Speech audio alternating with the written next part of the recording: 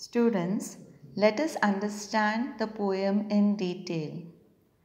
In the first stanza, the poet requests the wind to blow gently because when it blows violently, it causes a lot of destruction.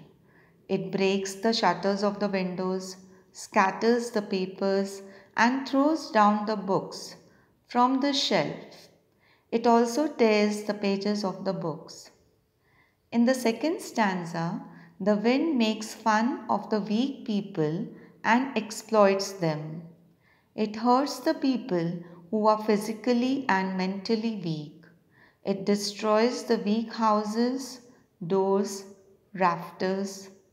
The houses which are weak fall, doors which are weak fall, the beams on which the roof of the buildings are supported also fall. So, he says that everything that is weak crumbles or breaks down.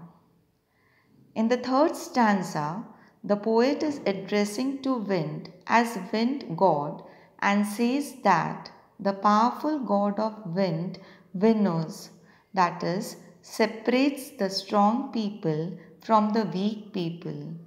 When the wind blows strongly, all the things that a weak fall and get crushed.